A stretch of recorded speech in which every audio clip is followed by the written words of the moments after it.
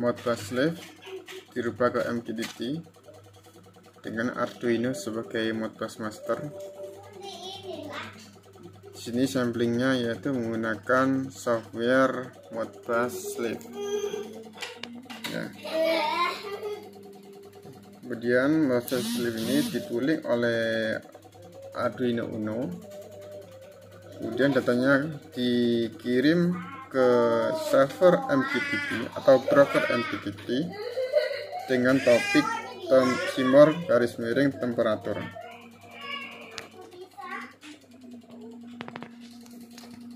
Arduino Uno, Ethernet Seal RS485 dan selfnya menggunakan USB to RS485 kita sekarang cek datanya di broker MQTT menggunakan MQTT Explorer.